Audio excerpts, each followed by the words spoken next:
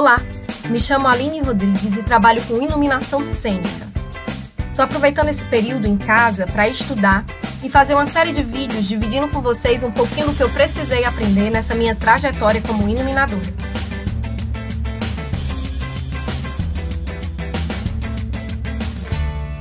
Olá, me chamo Aline Rodrigues e vou dividir com vocês a construção de um cabo série.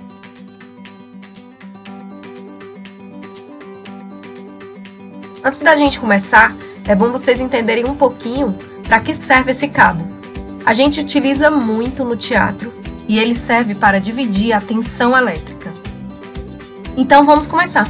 Aqui eu estou utilizando um cabo de um metro e meio com milímetro de um e meio, um plug macho, mas que vamos chamar de plug com pinos, e dois plugs fêmea, que vamos chamar de plugs sem pinos. Como ferramentas eu utilizei um estilete, uma chave estrela e um alicate de corte. Também é preciso fita isolante. Aqui tem dois testes e duas lâmpadas. E claro, uma régua mais próxima para ficar mais fácil na hora da gente testar. Então vamos lá. Aqui é um passo bem simples. Primeiro eu abro todos os plugs, tanto com pino como sem pino, para deixar preparado para na hora de receber os fios. É bom deixar a bancada bem organizada. Aí eu vou preparar o cabo. Tenta medir o meio, porque é aí que a gente vai fazer o corte. Primeira ferramenta utilizada, o estilete. Com o estilete, eu marco mais ou menos o tamanho que eu vou precisar da abertura dos fios. Depois eu uso o alicate de corte para fazer o corte com muito cuidado da capa que envolve os fios.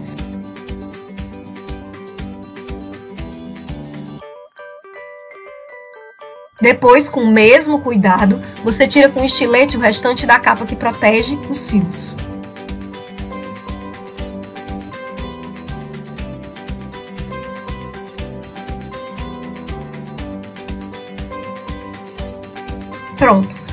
Fios à amostra, você vai perceber que existem dois cabos. Em alguns casos existem três, porque existe também o, o terra, mas depois a gente fala mais dele.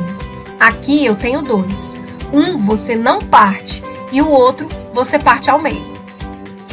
Após isso, você vai tirar a capa que envolve os fios de cobre.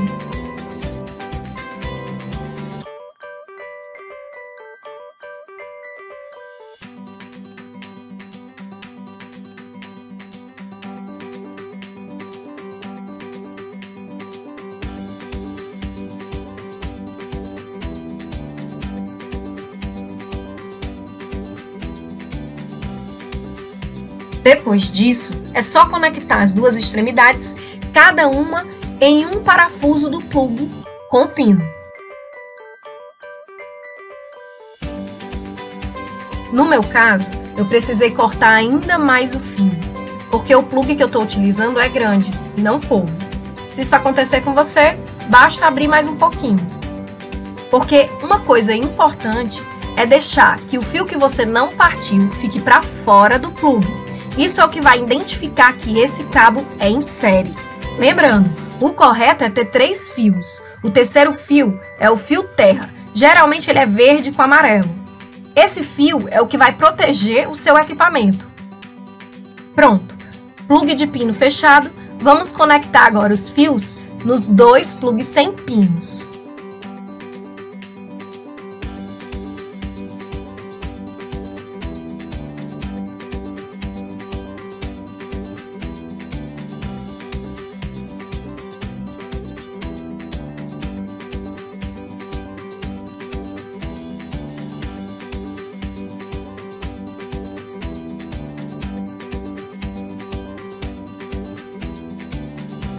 Vai perceber que eu só consigo ter a corrente quando as lâmpadas estão nas duas extremidades. Se eu por acaso tirar uma delas, a corrente cessa, mas quando eu recoloco, tudo volta. Obrigada, pessoal! Então eu espero que vocês tenham gostado. Se vocês tiverem dúvidas ou sugestões, podem escrever.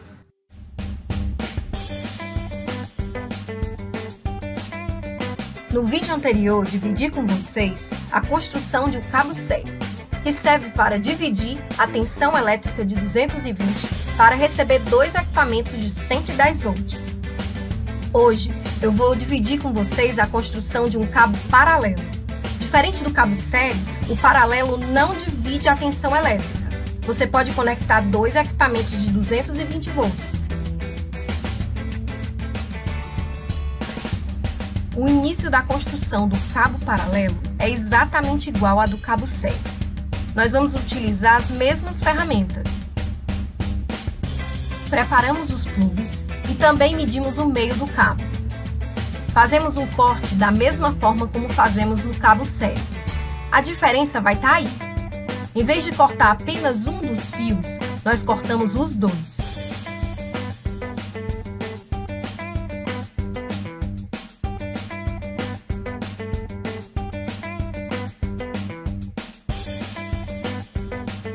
Nas quatro pontas dos fios, tiramos a capa que protege o fio de cobre.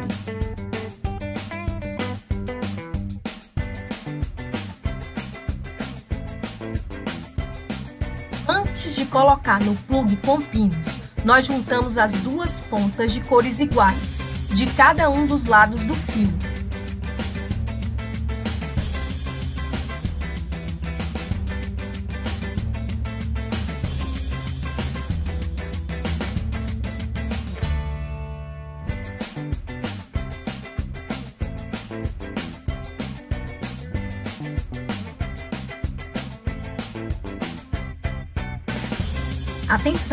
Nós tínhamos quatro pontas, mas nós juntamos as pontas de cores iguais. Então teremos duas pontas. Cada uma delas vai para um parafuso do plug com pinos.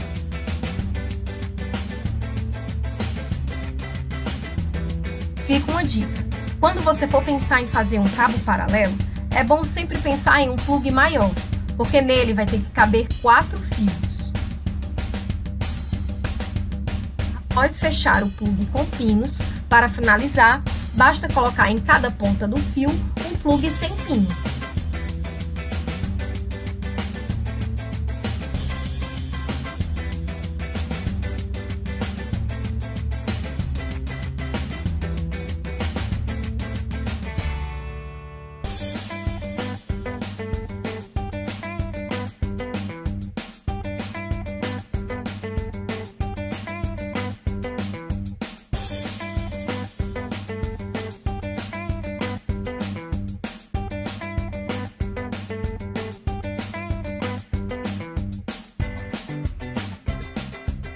Lembrando, se você estiver utilizando cabos com três fios, você precisará de plugs também com três entradas.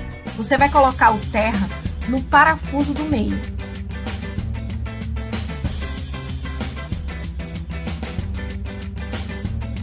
Cabo paralelo finalizado. Vamos testar? Recapitulando. O cabo em série tem um fio que não é partido. Esse fio fica para fora do plug com pinos.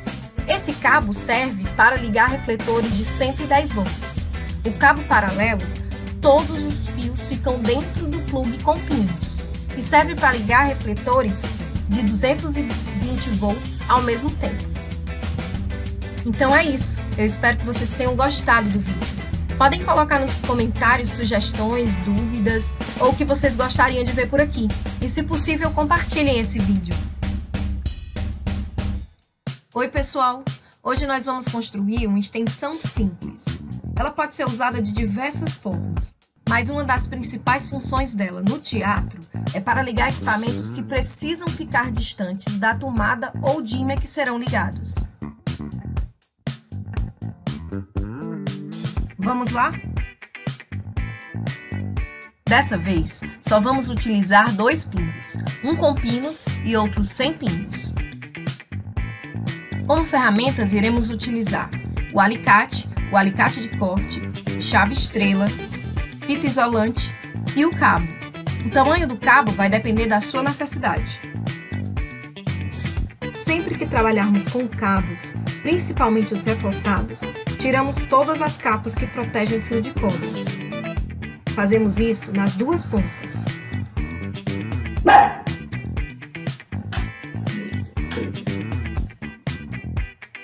Depois de preparar os fios, você vai fazer a conexão nos plugs. Eu optei por começar pelo plug com pinos.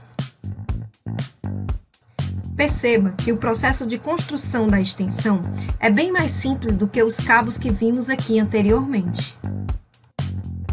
Uma dica, já que vamos conectar apenas um fio em cada parafuso do plug, é fazer uma espécie de arco envolvendo o parafuso.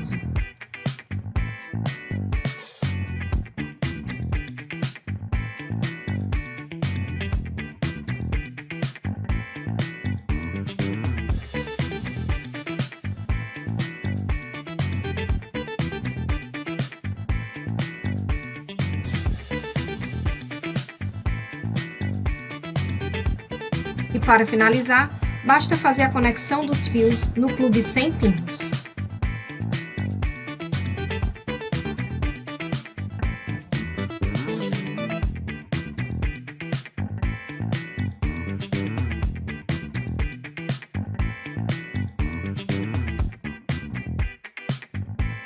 Pronto, extensão simples finalizada.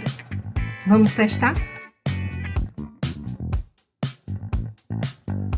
Extensão simples é um ótimo recurso se você precisa ligar coisas bem distantes. Além da possibilidade de ligar diversos equipamentos, você também pode substituir o plug sem pinos por um bocal de uma lâmpada, por exemplo, e criar uma luminária. O processo será o mesmo. Então é isso. Eu espero que vocês tenham gostado do vídeo. Curtam, comentem, compartilhem, assim vocês ajudam muito. Até a próxima!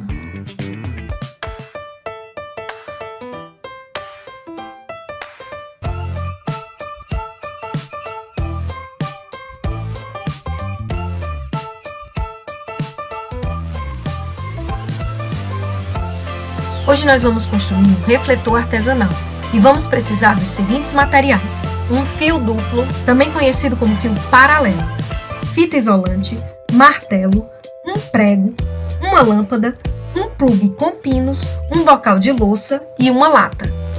Para a carcaça do refletor, estou utilizando uma lata de leite decorada que eu já tinha em casa, mas você pode utilizar outros materiais, como lata de tinta, lata de outros mantimentos, de manteiga, Lembrando que dependendo do tempo do uso, ele vai esquentar, então tenha cuidado.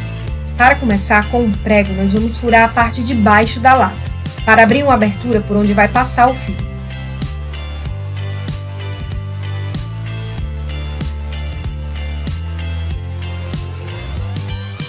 Você que vai definir a quantidade de fio que o seu refletor vai precisar. Pense sempre na funcionalidade dele como nos vídeos anteriores, nós vamos retirar das pontas a capa que protege o fio de cobre. Em uma das pontas, vamos colocar o bocal de louça.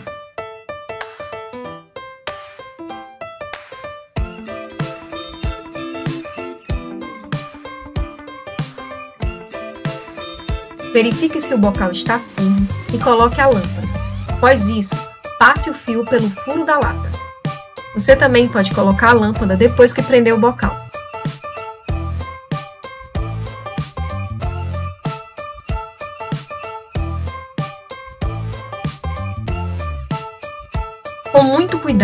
Você dá um nó no fio para prender o bocal à lata. Para finalizar, na outra ponta do fio, você vai colocar o plug com pinos.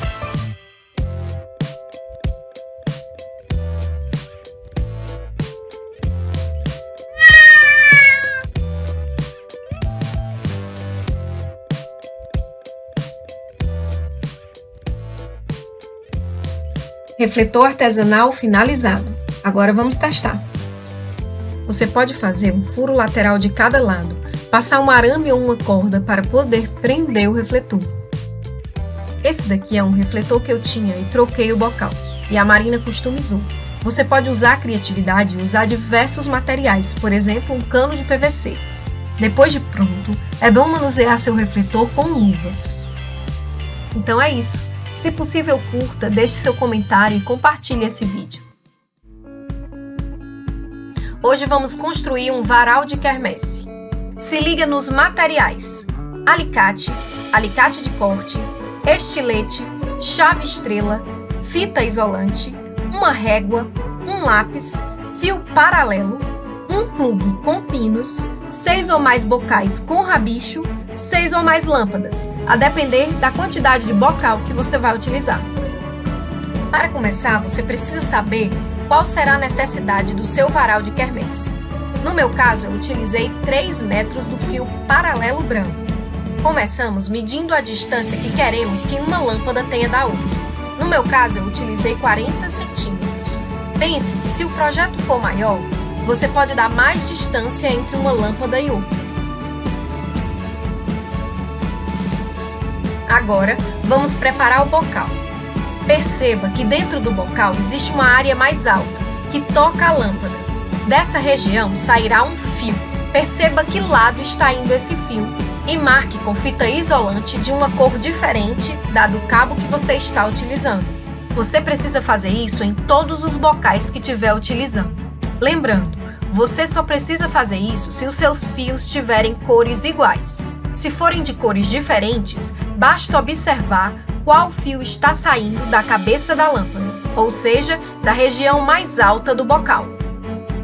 O próximo passo é isolar uma das pontas do fio. Corte a ponta do cabo até não aparecer mais nenhum fio de cobre. Depois, utilize a fita isolante para fechar esse lado do cabo. Para um melhor acabamento, utilize a fita isolante da cor do seu cabo.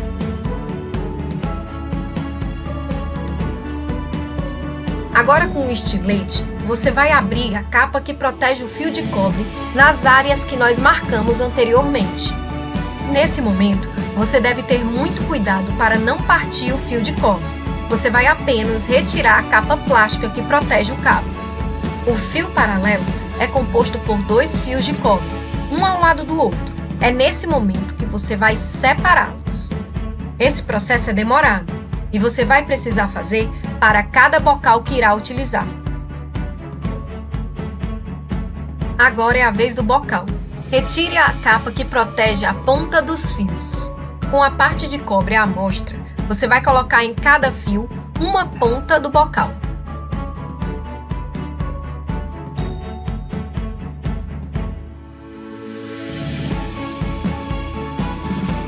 Após prender os fios, você vai colocar fita isolante para se certificar que os dois lados não terão contato.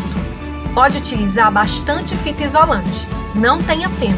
O ideal é que ela fique bem firme, sem espaços. Você tem que checar bastante se existe algum fio de cobre aparecendo e se estiver aparecendo, cobrir com fita isolante. Ah, uma coisa muito importante. Lembra do fio que marcamos com fita isolante? o da cabeça da lâmpada, ele deve ser preso sempre do mesmo lado no fio paralelo.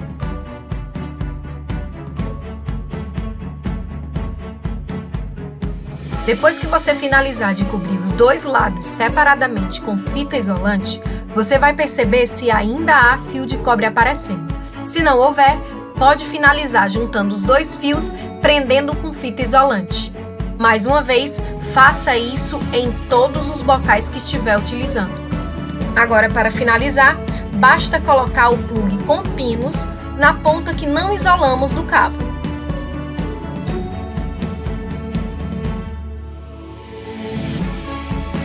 Varal de quermesse finalizado. Vamos testar? Com apenas uma lâmpada, vamos testar todos os bocais.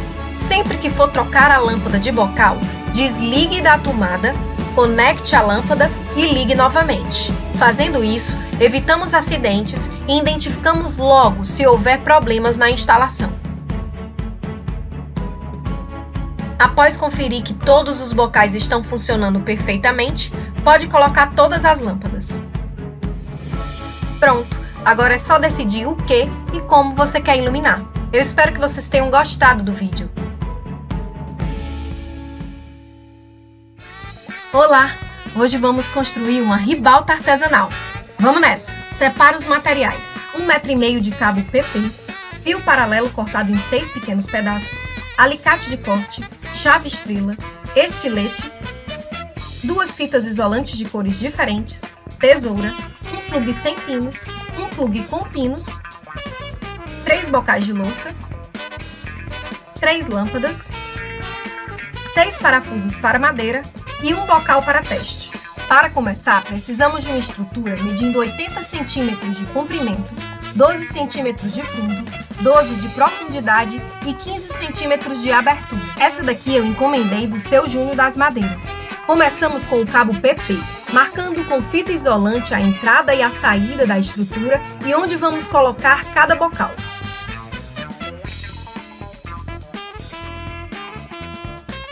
Assim como no vídeo anterior, o varal de quermesse, nós vamos retirar a capa que protege os fios de cobre, sem parti-los.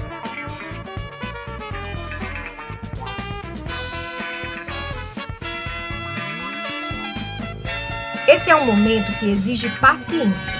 Você tem que tomar muito cuidado para não cortar o fio de cobre.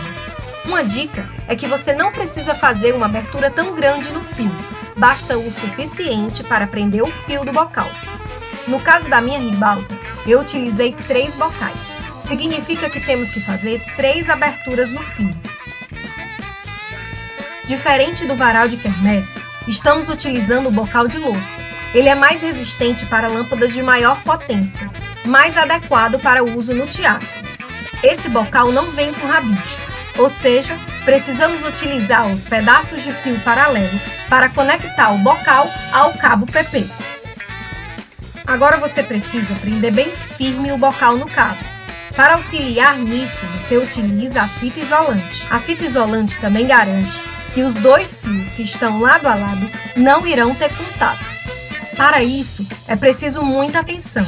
Se você notar que há algum fio de cobre aparecendo, coloque fita isolante para evitar o contato com o outro fio. Após se certificar que os dois fios estão isolados individualmente, você pode juntar os dois e prender com fita isolante para um melhor acabamento. Dessa vez, estamos utilizando fios de cores diferentes no bocal, vermelho e azul. Lembre-se de colocar sempre do mesmo lado o fio de uma das cores.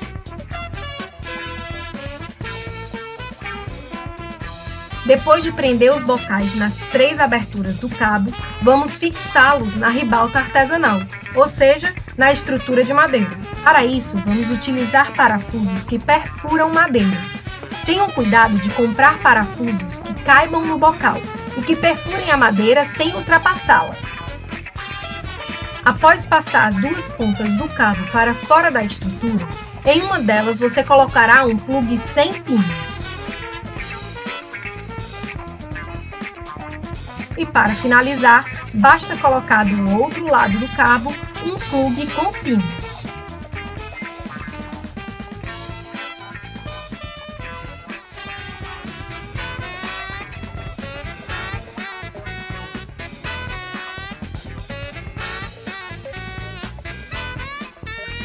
Ribalta artesanal finalizada.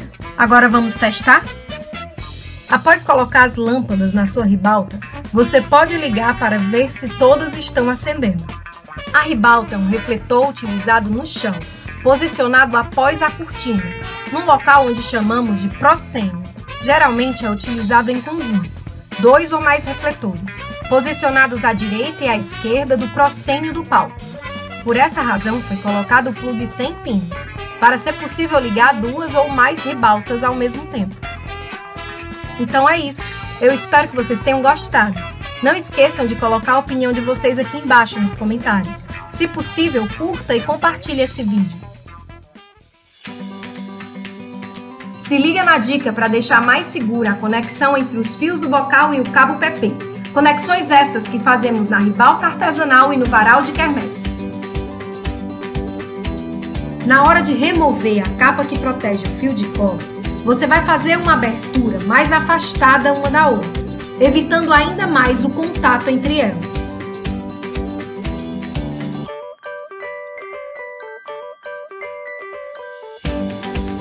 Após conectar o fio, você vai fechar com fita isolante.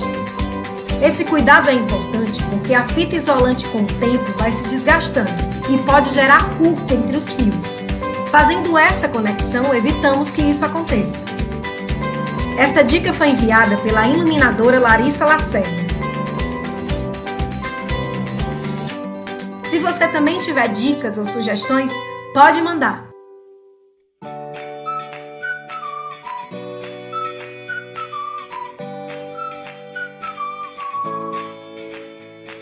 Hoje vamos fazer uma luminária, eu batizei carinhosamente de luminária Y. Ela tem duas partes. A parte maior mede 35 centímetros, a menor 16 centímetros. De largura, as duas têm 9 centímetros.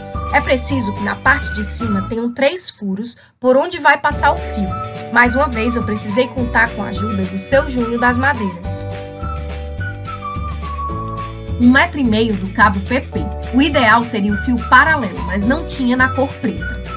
Um bocal com rabicho, alicate de corte, chave estrela, estilete, tesoura, fita isolante da cor do cabo, plug com pinos, interruptor de meio fio, também conhecido como pera, e uma lâmpada. Para começar, eu já marquei no cabo onde vai entrar o bocal, a pera e o plug com pinos. Passe os fios do bocal no primeiro furo da estrutura. Em seguida, prenda o cabo nos fios do bocal.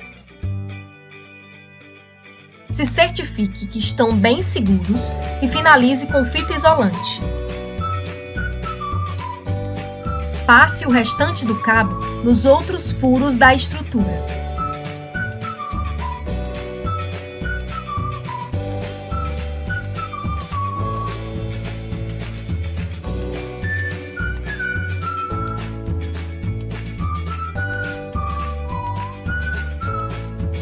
Cabo é PP, você vai remover a primeira capa que protege os fios de cobre.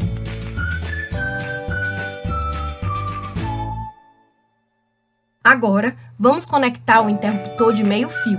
No meu caso, o interruptor não veio com a abertura dos dois lados.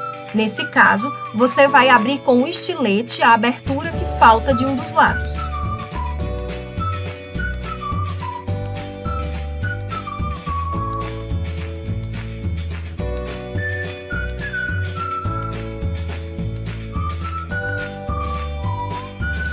Você verá que existem dois fios. Um você não parte e o outro você parte ao meio. No fio partido, você tira das pontas a capa que protege o fio de cobre. Depois de removida, você conecta cada uma das pontas em um parafuso do interruptor.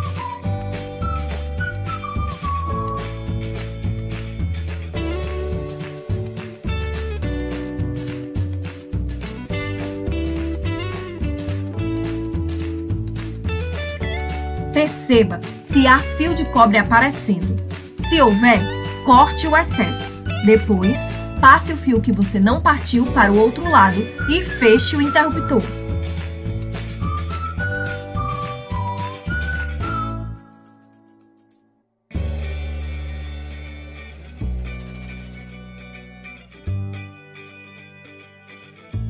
E para finalizar, colocamos o plug com pinos na outra ponta do cabo.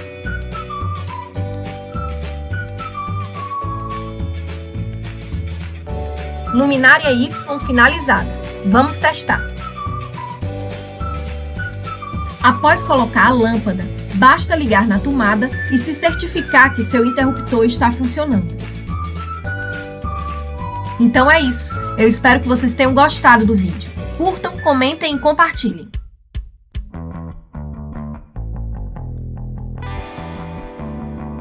Olá!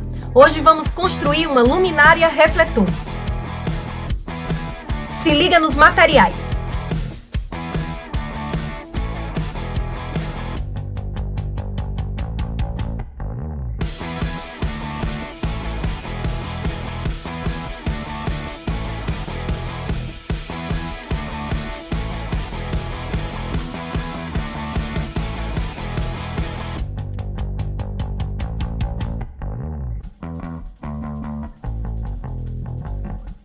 Para começar, escolhemos uma das pontas do cabo para colocar o bocal de louça.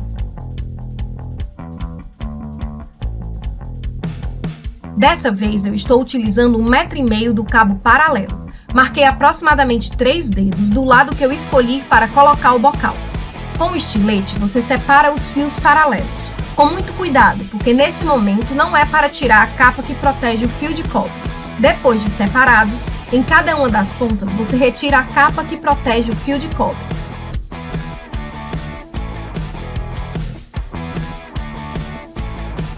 Coloque cada ponta do fio nos parafusos do bocal de louça. Nesse momento, não importa em que lado vai cada fio.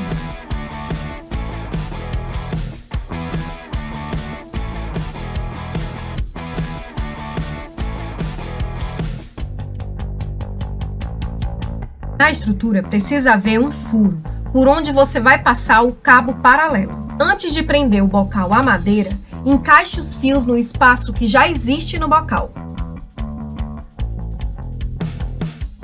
Com o parafuso adequado, você vai prender o bocal de louça à estrutura de madeira.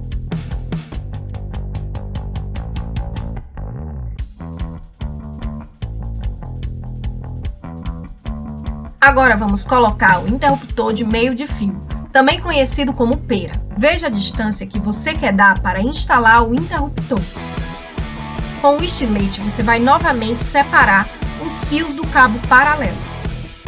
Um dos fios você não parte e o outro você parte ao meio. Retire das pontas do fio que você partiu a capa que protege o fio de cobre.